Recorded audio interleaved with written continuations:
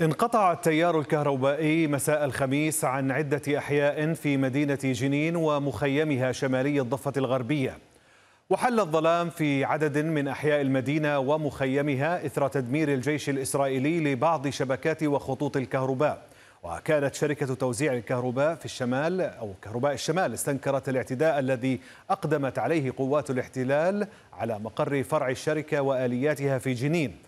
وقالت الشركة إن قوات الاحتلال شرعت منذ بدء عمليتها العسكرية في أعمال تدمير وتكسير للآليات الموجودة وتعطيلها وإخراجها من العمل.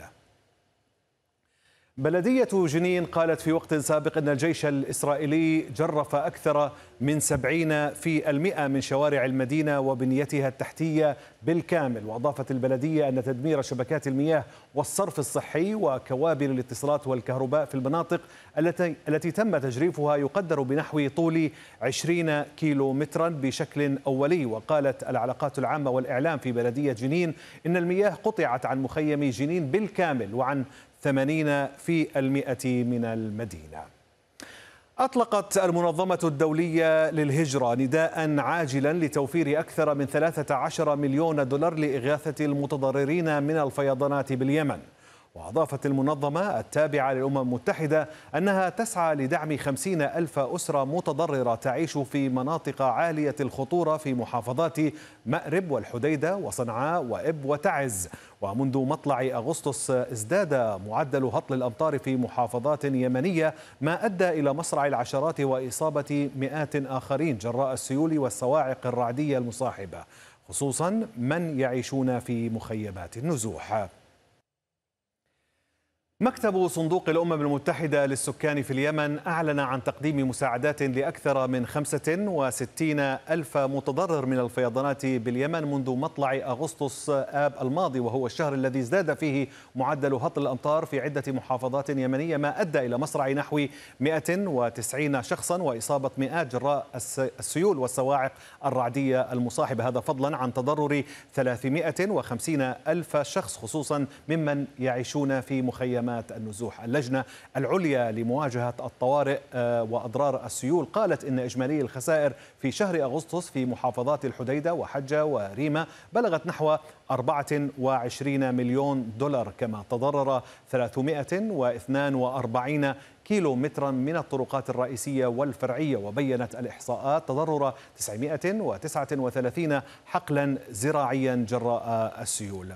كما أدت الفيضانات التي اجتاحت اليمن أخيرا إلى تدمير مئات الحقول الزراعية وإلحاق أضرار كبيرة بالمواشي في عدد من المحافظات. تعد منطقة سهل تهامة على البحر الأحمر من أكثر المناطق تضررا بالفيضانات ما ينذر بتفاقم الأزمة الغذائية في بلد يعاني فيه ثلثاء السكان من الجوع.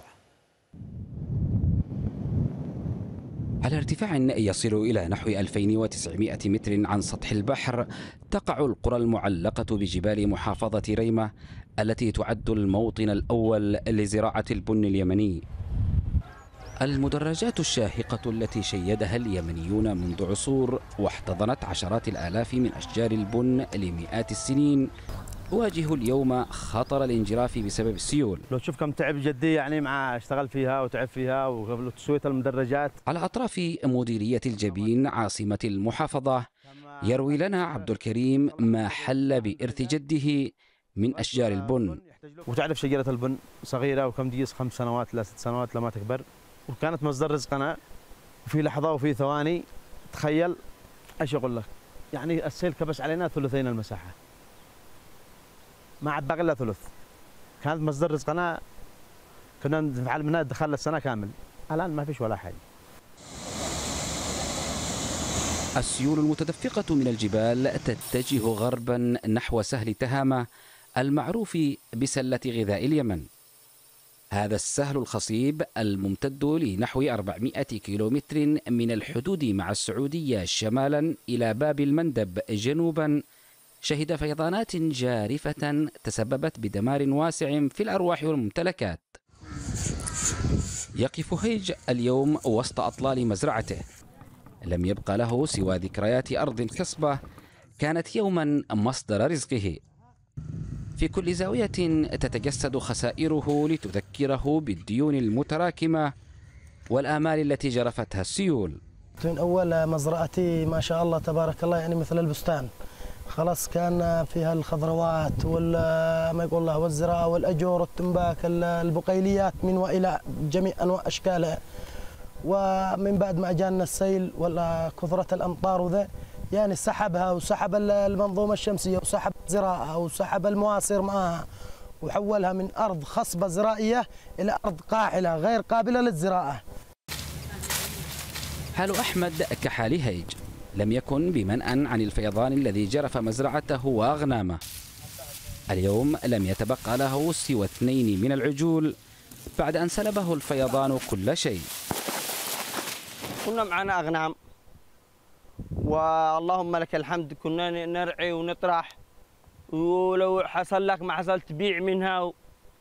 لكن الآن لا يوجد في يدك شيء.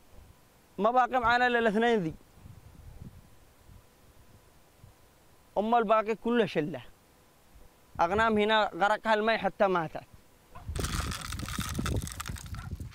انجراف مئات الحقول يمثل تهديدا للأمن الغذائي في اليمن حيث يعاني ثلثاء السكان الجوع. ورغم خصوبة الأرض فإن استمرار الحرب والانقسام السياسي يعوقان جهود تطوير الزراعة ومواجهة الأزمة حسب كثيرين. يأمل هؤلاء المزارعون أن تستفيد السلطات من السيول المتدفقة في ري الأراضي الزراعية عبر تخزينها كمياه جوفية. وفي حال نجاح هذه الخطوة فقد تمثل أملا جديدا في تحسين الواقع الزراعي في ظل الظروف الحالية التي يعيشها اليمن. سمير نمري الجزيرة الحديدة غربي اليمن. إلى ليبيا حيث أظهرت بيانات شحن أن معظم صادرات النفط في البلاد لا تزال متوقفة مع السماح لبعض الناقلات بتحميل النفط من المخزونات في مينائي البريغا والزويتينة وقالت رويتر إن إحدى الناقلتين ستحمل 600 ألف برميل على أن تتجه إلى إيطاليا لاحقاً. وأدى صراع سياسي على رئاسة البنك المركزي إلى إغلاق حقول النفطية في الشرق مع إعلان حالة القوة القاهرة. وقالت المؤسسة الوطنية للنفط إن إجمالي الإنتاج إنتاج الإنتاج انخفض في الثامن والعشرين من الشهر الماضي بأكثر من النصف مسجلا نحو 600 ألف برميل يوميا. هذا وانضمت ليبيا إلى منظمة الدول المصدرة للنفط أوبك منذ عام 1962 تحتل حاليا المركز الثاني من حيث إنتاج النفط في القارة الأفريقية بعد نيجيريا. نظرة على قطاع الطاقة الليبي بالأرقام في العرض التالي.